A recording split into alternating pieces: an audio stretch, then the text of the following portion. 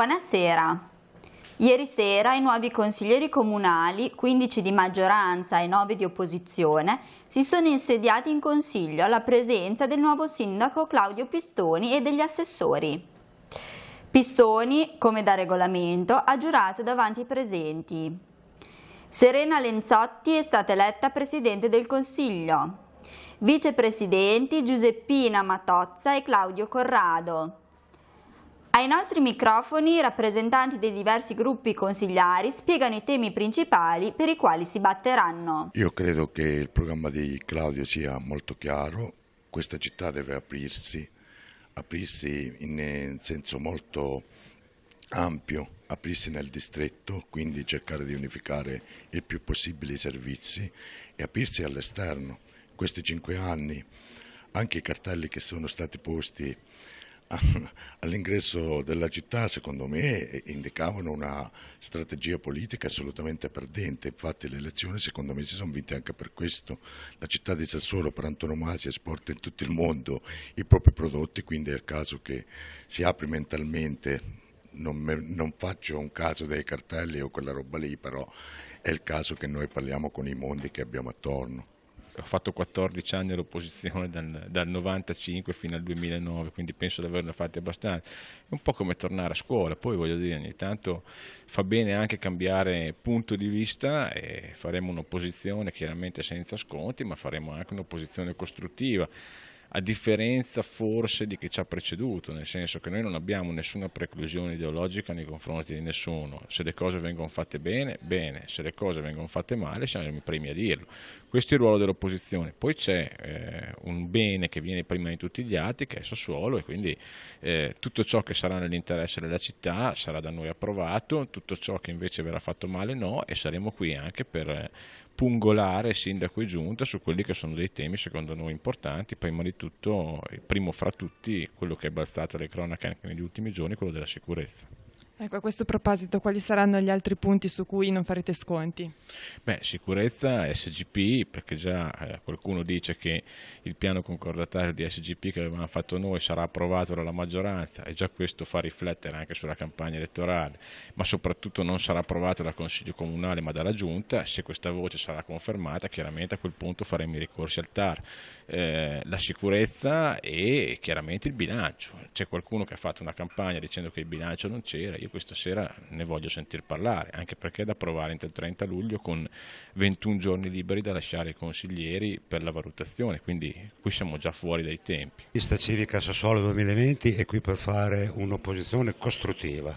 Noi non abbiamo bisogno di vendicarci dei risultati elettorali, non abbiamo bisogno di fare un'opposizione a prescindere, abbiamo bisogno per quello che è nelle nostre possibilità di eh, dare una mano al sindaco ma anche a tutte le altre forze consigliari a cercare di risolvere un po' i problemi di Sassuolo, insomma questo è il nostro compito, non abbiamo ambizioni particolari ma abbiamo comunque voglia di metterci a disposizione della città per dare il nostro contributo. Come abbiamo già annunciato in campagna elettorale, il nostro comunque sarà un dialogo aperto sui temi, quindi qualsiasi punto che toccherà i punti del nostro programma noi lo appoggeremo come, come, è giusto che sia, quindi eh, chiaramente abbiamo un programma che abbiamo, che abbiamo, presentato in campagna elettorale eh, su determinati punti e se saranno gli stessi che presenterà l'attuale sindaco noi li appoggeremo. Costruire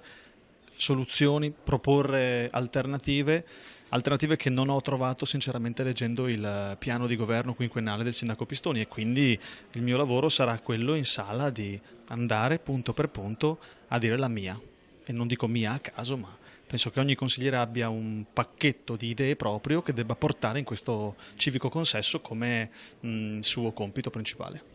Ecco, a questo proposito quali saranno i temi su cui combatterete di più? Beh, la città in tutta la sua eh, la, il suo essere complesso. Si parla tanto di città distretto, in realtà Sassuolo ha delle esigenze particolari perché, lo ripeto, all'interno del distretto Sassuolo è incredibilmente atipica, atipica su tutto, quindi le infrastrutture, le strutture di mobilità, il trasporto pubblico e quello scolastico è necessario rifarlo perché a scadenza molto breve il contratto con SETA va rifatto e va rifatto anche in termini eh, più sostenibili. Eh, dopodiché la gestione di tutte le strutture sportive e anche culturali che non sono per niente ehm, chiare nei piani, nei punti di governo presentato e, eh, e poi uno sguardo al futuro, alle nuove proposte. Durante la seduta, su sollecitazione dell'ex sindaco Luca Caselli, che ha chiesto notizie in merito alla moschea, il sindaco Claudio Pistoni ha confermato che il centro di culto di via Cavour ha ottenuto l'autorizzazione a riaprire già lo scorso 16 aprile. A seguito della richiesta, l'ufficio tecnico da parte dell'Associazione di Cultura Islamica. Già da domani i fedeli pregheranno all'interno della struttura. Sarà Don Giovanni Rossi a guidare l'unità pastorale di San Giorgio, alla quale faranno capo anche Sant'Antonio e San Giovanni Newman. Il sacerdote è stato nominato dal vescovo Massimo Camisasca. Rossi è nato a Reggio Emilia il 15 ottobre del 1957. Nella sua lunga esperienza spiccano gli 11 anni passati a Correggio. Numeri in crescita per i costruttori italiani di macchine per ceramica nel 2013. Il fatturato si è attestato su 1.710 milioni di euro, con una crescita del 2,2% sull'anno precedente. A trainare le vendite sono state le esportazioni, che hanno registrato un incremento del 5,8%. La suddivisione delle vendite per area geografica risulta abbastanza omogenea, con l'Asia al primo posto tra i mercati di export con 221,1 milioni di fatturato. A seguire i paesi del Medio Oriente con 213,7 milioni di euro. Scende al terzo posto l'Unione Europea con un fatturato di 201,2 milioni di euro, in flessione dell'8,9%. Le vendite in Italia sono invece calate nel 2013 del 9,9%, assestandosi su 343,8 milioni di euro. Passiamo allo sport.